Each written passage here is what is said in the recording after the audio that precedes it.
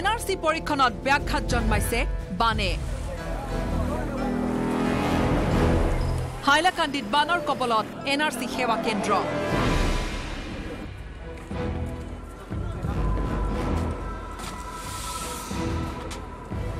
কথমপি ৰক্ষা N R C উন্নীতকৰণৰ নথি পত্ৰ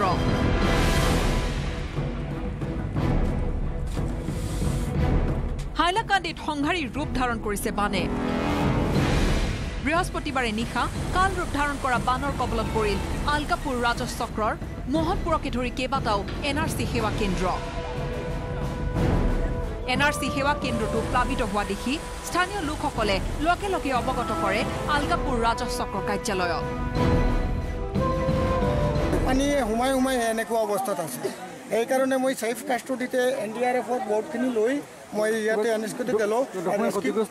নাই একো একো হোৱা নাই। এনআরসির কাগজখিনি আমার ন্যাশনাল প্রপার্টি এগুলি ক্ষতি হব নয় কোনো কারণে যে কোনো পরিস্থিতি মোকাবিলা করে মই লই আছো আনহাতে শুকুরবারে পুয়াই মোহনপুরের এনআরসি সেবা কেন্দ্রত উপস্থিত হয় আলগাপুর রাজস্থক্র বিষয়া।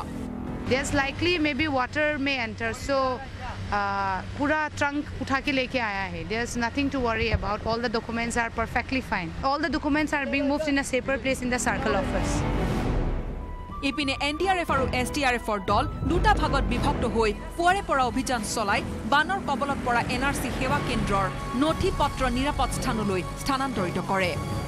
বহুত মানুহক উদ্ধাৰ কৰিছোঁ। আজি এন আৰ চি কাগজখিনি উদ্ধাৰ কৰি লৈ আনিছোঁ। আমাৰ এটা টীম আহিছে ইয়াত। দুটা ভাগত ভাগ হৈছে। এটা মোহনপুৰ আৰু এটা বেলেগ চাৰ্কুলত গৈছে। সম্পূৰ্ণ উদ্ধাৰ কৰা হ'ল। এন আৰ চি ডকুমেণ্ট যিমান আছিলে। হাইলাকান্দিত অপৰিৱৰ্তিত বান পৰিস্থিতিয়ে এতিয়া জলাকলা খুৱাইছে এন আৰ চি বিষয়া কৰ্মচাৰী।